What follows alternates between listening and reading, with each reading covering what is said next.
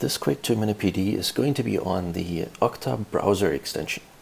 Once you're successfully signed into Okta, it's going to ask you to install the browser plugin.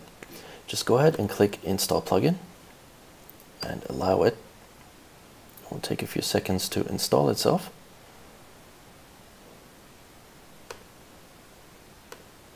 Okay. And you just refresh the website.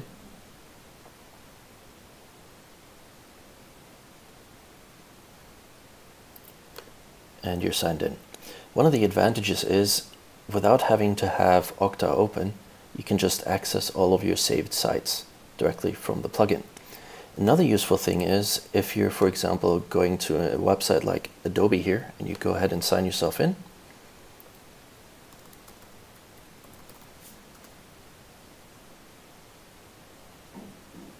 Okta will offer to save this password for you so when you go back to the main Okta website and just give it a quick refresh, here's the Adobe login.